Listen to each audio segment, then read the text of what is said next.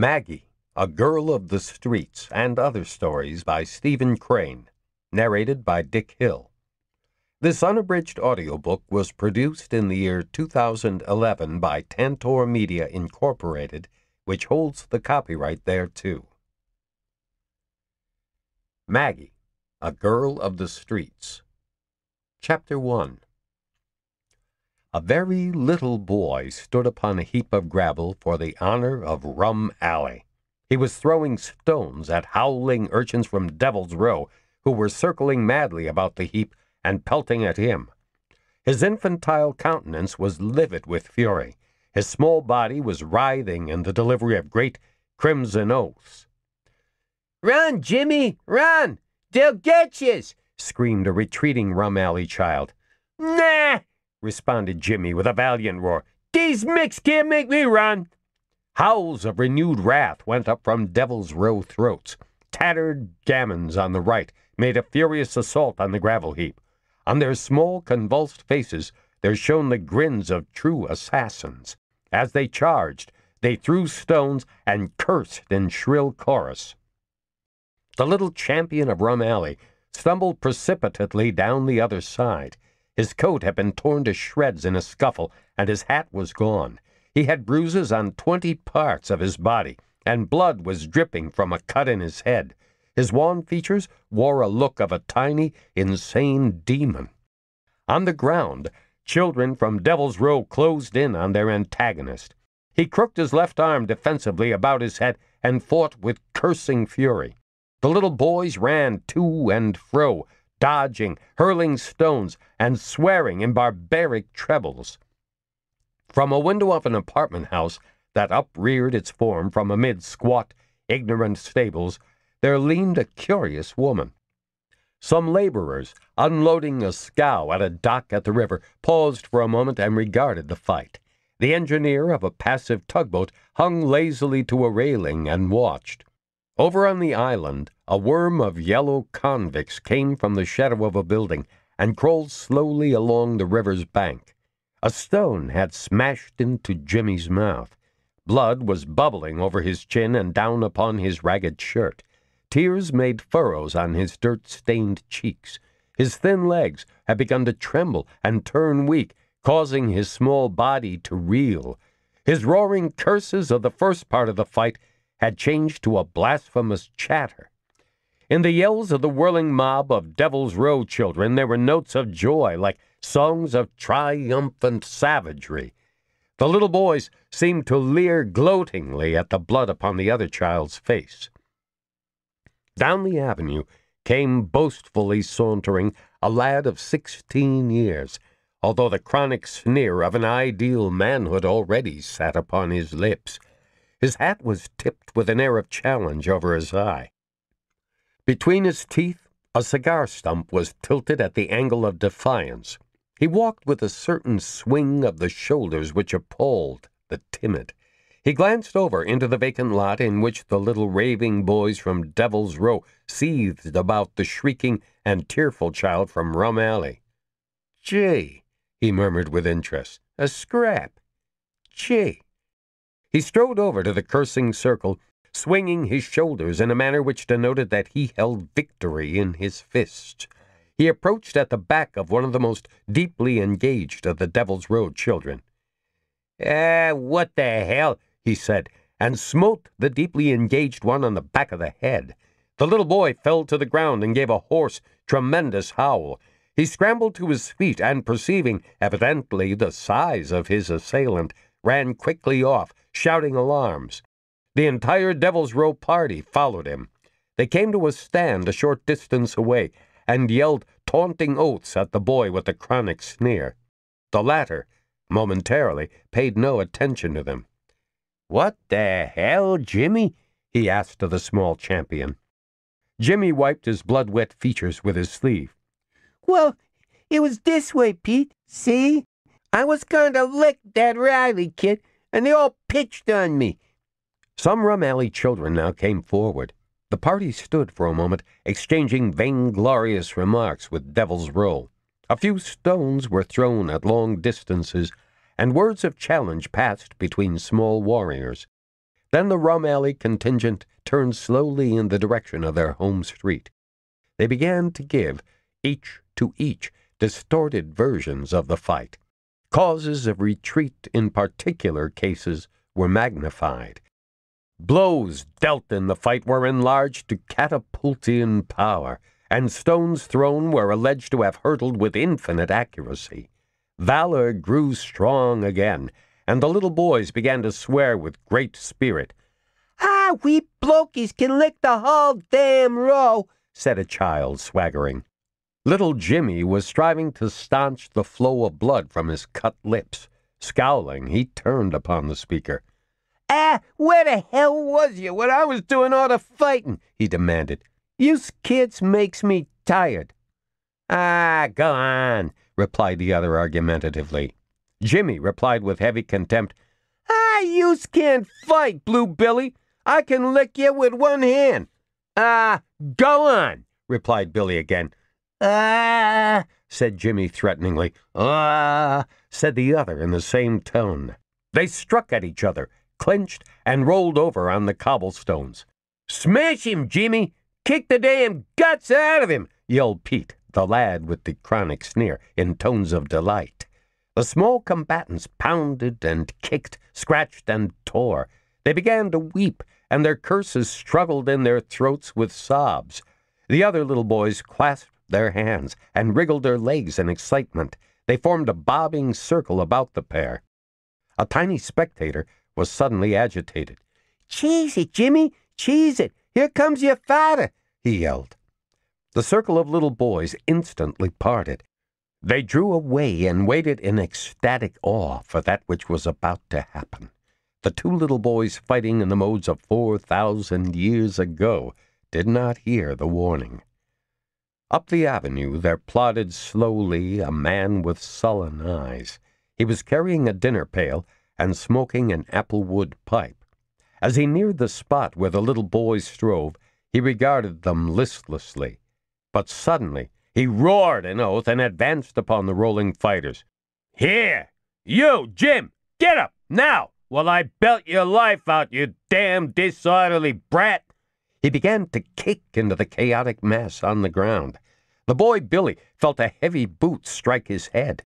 He made a furious effort and disentangled himself from Jimmy. He tottered away, damning. Jimmy arose painfully from the ground and, confronting his father, began to curse him. His parent kicked him. Come home now, he cried, and stop your jawing, or I'll lam the everlasting head off yous. They departed.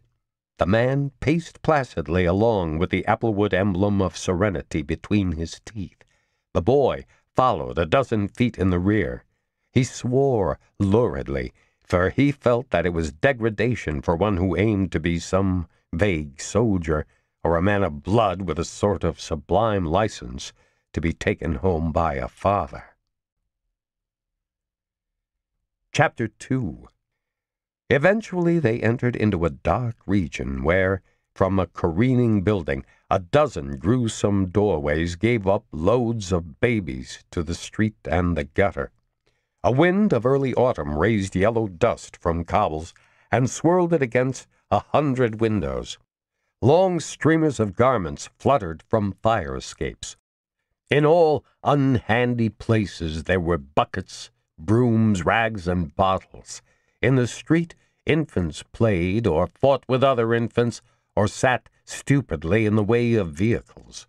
Formidable women with uncombed hair and disordered dress gossiped while leaning on railings or screamed in frantic quarrels. Withered persons, in curious postures of submission to something, sat smoking pipes in obscure corners. A thousand odors of cooking food came forth to the street. The building quivered and creaked from the weight of humanity stamping about in its bowels. A small, ragged girl dragged a red, bawling infant along the crowded ways. He was hanging back, babylike, bracing his wrinkled, bare legs. The little girl cried out, Ah, Tommy, come on! There's Jimmy and father. Don't be a pulling me back.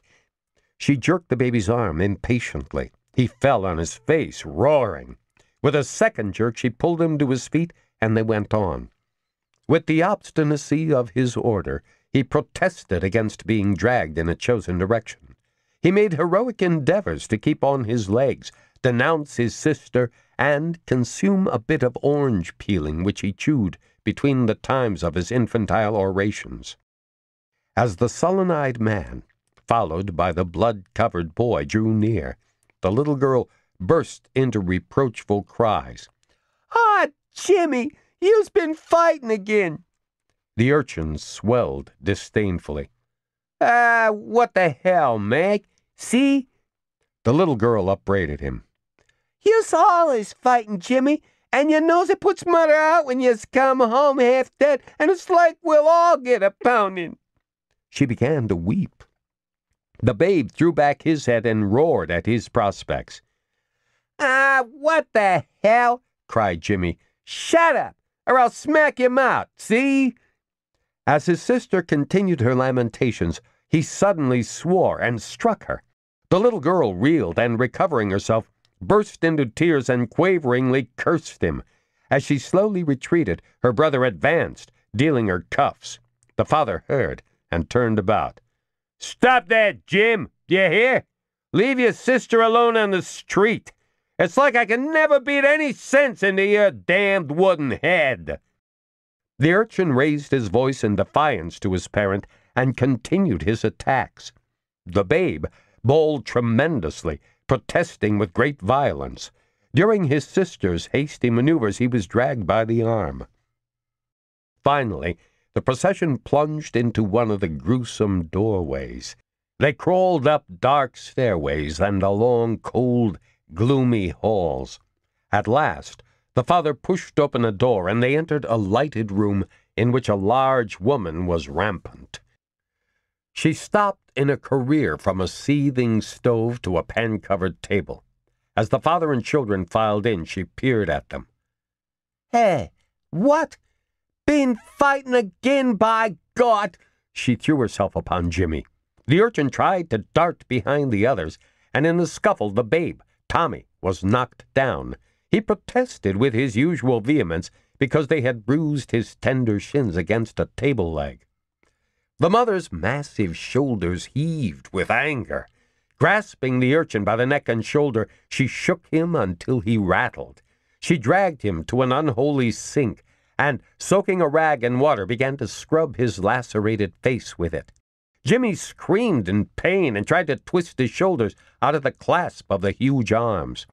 The babe sat on the floor watching the scene, his face in contortions like that of a woman at a tragedy. The father, with a newly laden pipe in his mouth, crouched on a backless chair near the stove. Jimmy's cries annoyed him. He turned about and bellowed at his wife. Let the damned kid alone for a minute, will you, Mary? You're always pounding him. When I come nights, I can't get no rest 'cause you're always pounding a kid. Let up! You hear? Don't be always pounding a kid. The woman's operations on the urchin instantly increased in violence. At last, she tossed him to a corner where he limply lay, cursing and weeping. The wife put her immense hands on her hips, and with a chieftain like stride approached her husband. Ho! she said, with a great grunt of contempt. And what in the devil are you sticking your nose for? The babe crawled under the table and, turning, peered out cautiously. The ragged girl retreated, and the urchin in the corner drew his legs carefully beneath him. The man puffed his pipe calmly and put his great mudded boots on the back part of the stove. Go to hell, he murmured tranquilly. The woman screamed and shook her fists before her husband's eyes. The rough yellow of her face and neck flared suddenly crimson. She began to howl. He puffed imperturbably at his pipe for a time, but finally arose and began to look out at the window into the darkening chaos of backyards. You've been drinking, Mary, he said. You'd better let up on the battle, woman, or you'll get done. You're a liar! I ain't had a drop! she roared in reply. They had a lurid altercation in which they damned each other's souls with frequence. The babe was staring out from under the table, his small face working in his excitement. The ragged girl went stealthily over to the corner where the urchin lay. Are you hurting much, Jimmy? she whispered timidly. Not a damn bit. See? growled the little boy. Will I wash the blood? Nah. Will I? When I catch that Riley kid, I'll break his face. That's right. See? He turned his face to the wall as if resolved to grimly bide his time. In the quarrel between husband and wife, the woman was victor. The man grabbed his hat and rushed from the room, apparently determined upon a vengeful drunk. She followed to the door and thundered at him as he made his way downstairs. She returned and stirred up the room until her children were bobbing about like bubbles. Get out of the way! she persistently bawled, waving feet with their disheveled shoes near the heads of her children. She shrouded herself, puffing and snorting in a cloud of steam at the stove, and eventually extracted a frying pan full of potatoes that hissed. She flourished it. Come to your suppers now, she cried with sudden exasperation. Hurry up now, or I'll help you. The children scrambled hastily. With prodigious clatter, they arranged themselves at table. The baby sat with his feet dangling high from a precarious infant chair and gorged his small stomach. Jimmy forced, with feverish rapidity, the grease enveloped pieces between his wounded lips. Maggie, with side glances of fear of interruption, ate like a small pursued tigress. The mothers sat blinking at them. She delivered reproaches, swallowed potatoes, and drank from a yellow brown bottle. After a time, her mood changed, and she wept as she carried little Tommy into another room and laid him to sleep with his fists doubled in an old quilt of faded red and green grandeur. Then she came and moaned by the stove. She rocked to and fro upon a chair, shedding tears and crooning miserably to the two children about their poor mother and your father, damn his soul. The little girl plodded between the table and the chair with a dishpan on it. She tottered on her small legs beneath burdens of dishes. Jimmy sat nursing his various wounds. He cast furtive glances at his mother. His practiced eye perceived her gradually emerge from a muddled mist of sentiment until her brain burned in drunken heat. He sat breathless. Maggie broke a plate. The mother started to her feet as if propelled. Good God! she howled. Her eyes glittered on her child with sudden hatred. The fervent red of her face turned almost to purple. The little boy ran to the halls, shrieking like a monk in an earthquake. He floundered about in darkness until he found the stairs. He stumbled, panic stricken, to the next floor.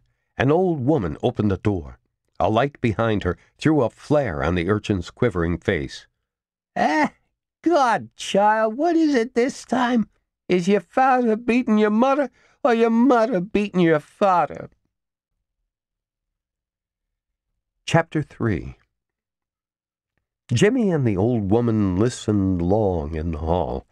Above the muffled roar of conversation, the dismal wailings of babies at night, the thumping of feet in unseen corridors and rooms, mingled with the sound of varied hoarse shoutings in the street and the rattling of wheels over cobbles, they heard the screams of the child and the roars of the mother die away to a feeble moaning and a subdued bass muttering. The old woman was a gnarled and leathery personage who could don at will an expression of great virtue. She possessed a small music box capable of one tune and a collection of God bless yous pitched in assorted keys of fervency. Each day she took a position upon the stones of Fifth Avenue, where she crooked her legs under her and crouched immovable and hideous like an idol she received daily a small sum in pennies. It was contributed, for the most part, by persons who did not make their homes in that vicinity. Once, when a lady had dropped her purse on the sidewalk, the gnarled woman had grabbed it and smuggled it with great dexterity beneath her cloak. When she was arrested, she had cursed the lady into a partial swoon, and with her aged limbs, twisted from rheumatism, had almost kicked the stomach out of a huge policeman, whose conduct upon that occasion she referred to when she said, The police! Damn 'em! Hey, Jimmy, it's cursed shame, she said.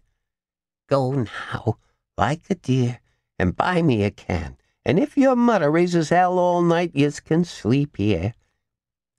Jimmy took a tendered tin pail and seven pennies and departed.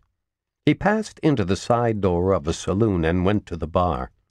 Straining up on his toes, he raised the pail and pennies as high as his arms would let him. He saw two hands thrust down and take them. Directly, the same hands let down the filled pail, and he left. In front of the gruesome doorway, he met a lurching figure. It was his father, swaying about on uncertain legs. Give me the kid. See? said the man threateningly. Ah, come off. I got this can for that old woman, and it'd be dirt to swipe it. See? cried Jimmy. The father wrenched the pail from the urchin. He grasped it in both hands and lifted it to his mouth. He glued his lips to the under edge and tilted his head. His hairy throat swelled until it seemed to grow near his chin. There was a tremendous gulping movement, and the beer was gone. The man caught his breath and laughed. He hit his son on the head with the empty pail. As it rolled clanging into the street, Jimmy began to scream and kicked repeatedly at his father's shins. Look at the dirt, what you done me, he yelled. The old woman'll be raising hell. He retreated to the middle of the street, but the man did not pursue. He staggered toward the door. I'll club hell out of you when I catch you, he shouted, and disappeared. During the evening, he had been standing against the bar, drinking whiskies and declaring to all comers confidentially, My home, regular living hell. Damn this place. Regular hell. Why do I come and drink whiskey this way? 'Cause home, regular living hell. Jimmy waited a long time in the street and then crept warily up through the building.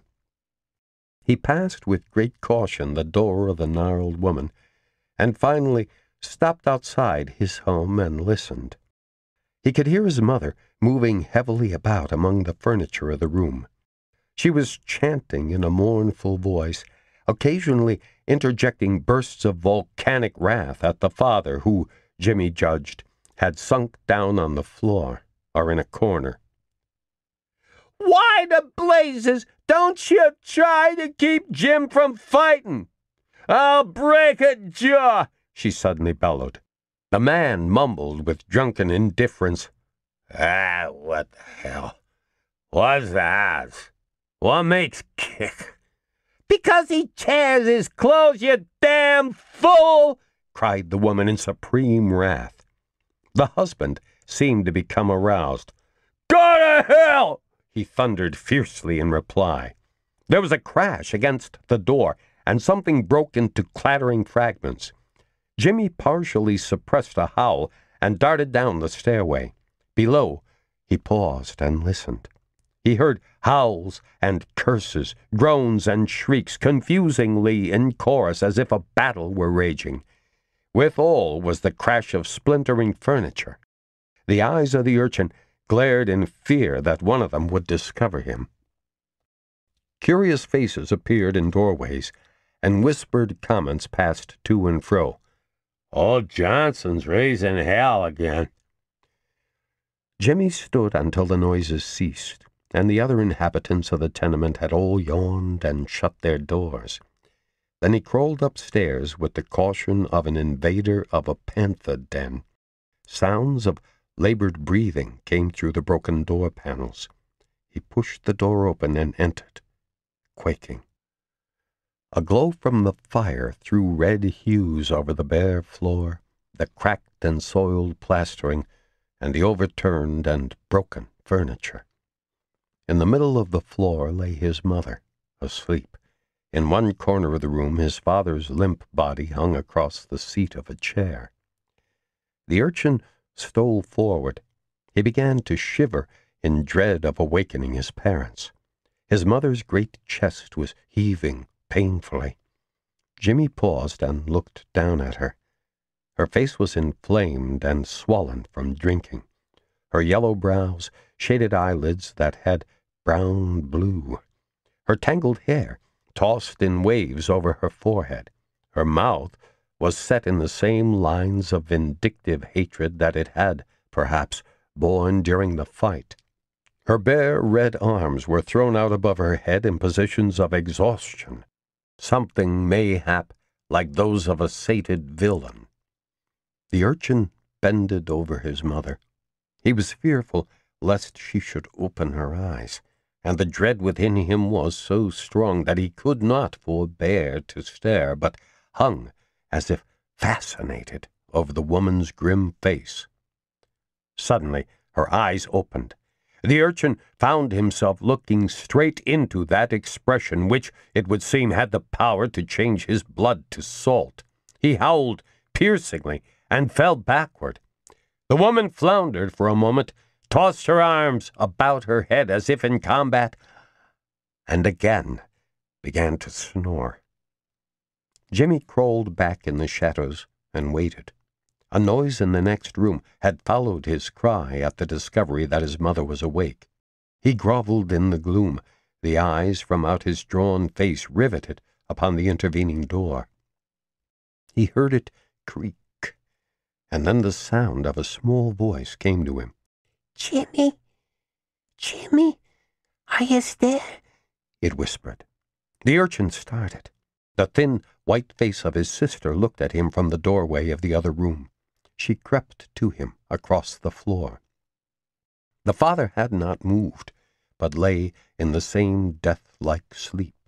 The mother writhed in uneasy slumber, her chest wheezing as if she were in the agonies of strangulation. Out at the window, a florid moon was peering over dark roofs, and in the distance the waters of a river glimmered pallidly. The small frame of the ragged girl was quivering. Her features were haggard from weeping, and her eyes gleamed from fear. She grasped the urchin's arm in her little trembling hands, and they huddled in a corner. The eyes of both were drawn by some force to stare at the woman's face, for they thought she need only to awake and all fiends would come from below. They crouched until the ghost mists of dawn appeared at the window, drawing close to the panes and looking in at the prostrate, heaving body of the mother. Chapter 4 The babe, Tommy, died. He went away in a white, insignificant coffin, his small, waxen hand clutching a flower that the girl, Maggie, had stolen from an Italian. She and Jimmy lived. The inexperienced fibers of the boy's eyes were hardened at an early age. He became a young man of leather. He lived some red years without laboring. During that time his sneer became chronic. He studied human nature in the gutter, and found it no worse than he thought he had reason to believe it. He never conceived a respect for the world, because he had begun with no idols that it had smashed. He clad his soul in armor by means of happening hilariously in at a mission church where a man composed his sermons of ewes. While they got warm at the stove, he told his hearers just where he calculated they stood with the Lord. Many of the sinners were impatient over the pictured depths of their degradation. They were waiting for soup tickets. A reader of words, of wind demons might have been able to see the portions of a dialogue pass to and fro between the exhorter and his hearers. You are damned, said the preacher. And the reader of sounds might have seen the reply go forth from the ragged people, Where's our soup? Jimmy and a companion sat in a rear seat and commented upon the things that didn't concern them, with all the freedom of English gentlemen. When they grew thirsty and went out, their minds confused the speaker with Christ. Momentarily, Jimmy was sullen with thoughts of a hopeless altitude where grew fruit. His companion said that if he should ever meet God, he would ask for a million dollars and a bottle of beer. Jimmy's occupation for a long time was to stand on street corners and watch the world go by dreaming blood red dreams at the passing of pretty women. He menaced mankind at the intersections of streets. On the corners, he was in life and of life. The world was going on, and he was there to perceive it. He maintained a belligerent attitude toward all well dressed men. To him, fine raiment was allied to weakness and all good coats covered faint hearts. He and his order were kings to a certain extent over the men of untarnished clothes, because these latter dreaded, perhaps, to be either killed or laughed at. Above all things, he despised obvious Christians and ciphers with the chrysanthemums of aristocracy in their buttonholes. He considered himself above both of these classes. He was afraid of neither the devil nor the leader of society. When he had a dollar in his pocket, his satisfaction with existence was the greatest thing in the world. So, eventually, he felt obliged to work. His father died, and his mother's years were divided up into periods of thirty days. He became a truck driver. He was given the charge of a painstaking pair of horses and a large, rattling truck. He invaded the turmoil and tumble of the downtown streets and learned to breathe maledictory defiance at the police who occasionally used to climb up, drag him from his perch, and beat him. In the lower part of the city, he daily involved himself in hideous tangles. If he and his team chanced to be in the rear, he preserved a demeanor of serenity, crossing his legs and bursting forth into yells when foot passengers took dangerous dives beneath the noses of his champing horses. He smoked his pipe calmly, for he knew that his pay was marching on. If in the front and the key truck of chaos, he entered terrifically into the quarrel that was raging to and fro among the drivers on their high seats, and sometimes roared oaths and violently got himself arrested. After a time, his sneer grew so that it turned its glare upon all things. He became so sharp that he believed in nothing. To him, the police were always actuated by malignant impulses, and the rest of the world was composed, for the most part, of despicable creatures who were all trying to take advantage of him, and with whom, in defense, he was obliged to quarrel on all possible occasions. He himself occupied a downtrodden position that had a private but distinct element of grandeur in its isolation. The most complete cases of aggravated idiocy were, to his mind, rampant upon the front platforms of all the streetcars. At first, his tongue strove with these beings, but he eventually was superior. He became immured like an African cow. In him grew a majestic contempt for those strings of streetcars that followed him like intent bugs. He fell into the habit, when starting on a long journey, of fixing his eye on a high and distant object, commanding his horses to begin, and then going into a sort of a trance of observation. Multitudes of drivers might howl in his rear, and passengers might load him with opprobrium He would not awaken until some blue policeman turned red and began to frenziedly tear bridles and beat the soft noses of the responsible horses. When he paused to contemplate the attitude of the police toward himself and his fellows, he believed that they were the only men in the city who had no rights. When driving about, he felt that he was held liable by the police for anything that might occur in the streets, and was the common prey of all energetic officials. In revenge, he resolved never to move out of the way of anything until formidable circumstances, or a much larger man than himself, forced him to it. Foot passengers were mere pestering flies with an insane disregard for their legs and his convenience. He could not conceive their maniacal desires to cross the streets. Their madness smote him with eternal amazement. He was continually storming at them from his throne. He sat aloft and denounced their frantic leaps, plunges, dives, and straddles when they would thrust at or parry the noses of his champing horses, making them swing their heads and move their feet, disturbing a solid, dreamy repose, he swore at the men as fools, for he himself could perceive that Providence had caused it clearly to be written that he and his team had the unalienable right to stand in the proper path of the sun chariot, and if they so minded, obstruct its mission, or take a wheel off. And perhaps, if the god driver had an ungovernable desire to step down, put up his flame colored fists, and manfully dispute the right of way, he would have probably been immediately opposed by a scowling mortal with two sets of very hard knuckles. It is possible, perhaps, that this young man would have derided in an axle wide alley the approach of a flying ferry boat. Yet he achieved a respect for a fire engine.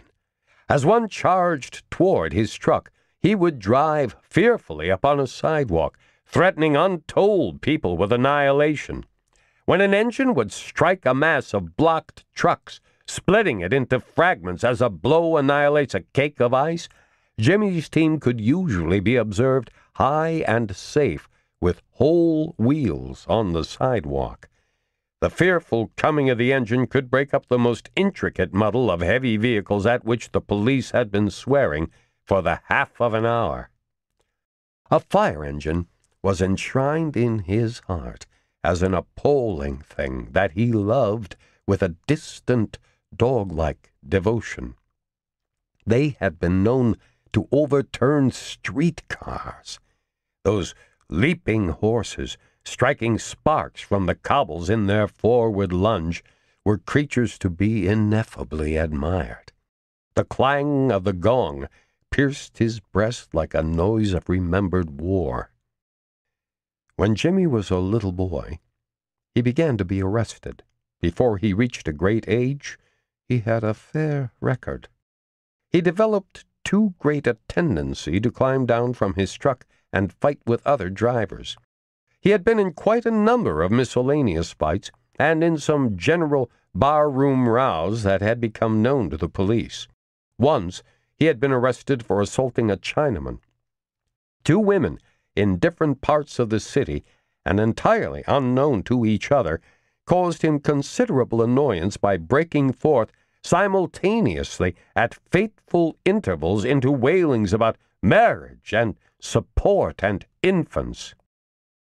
Nevertheless, he had, on a certain starlit evening, said wonderingly and quite reverently, The moon looks like hell, don't it?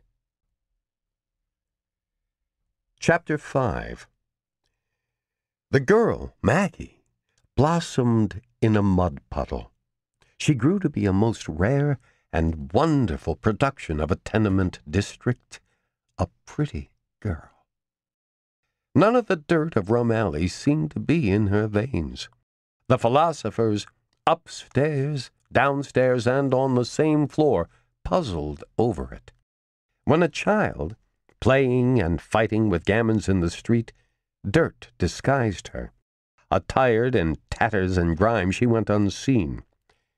There came a time, however, when the young men of the vicinity said, That Johnson girl is a pretty good looker. About this period, her brother remarked to her, Meg, I'll tell you this, see? You've either got to go to hell or go to work. Whereupon she went to work, having the feminine aversion of going to hell.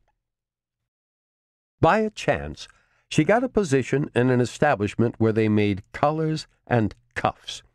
She received a stool and a machine in a room where sat twenty girls of various shades of yellow discontent.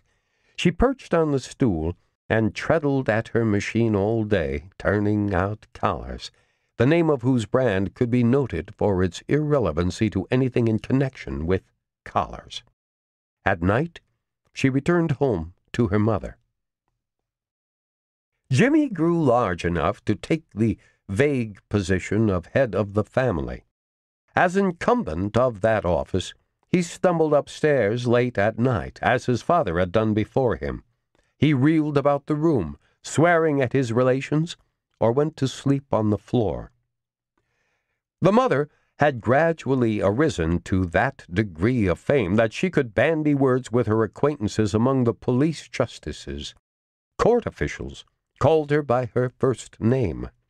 When she appeared, they pursued a course which had been theirs for months. They invariably grinned and cried out, Hello, Mary, you here again?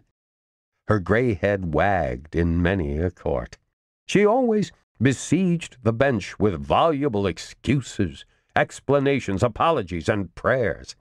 Her flaming face and rolling eyes were a sort of familiar sight on the island. She measured time by means of sprees, and was eternally swollen and disheveled. One day, the young man, Pete, who as a lad had smitten the Devil's Row urchin in the back of the head and put to flight the antagonist of his friend Jimmy, strutted upon the scene. He met Jimmy one day on the street, promised to take him to a boxing match in Williamsburg, and called for him in the evening. Maggie observed Pete. He sat on a table in the Johnson home and dangled his checked legs with an enticing nonchalance.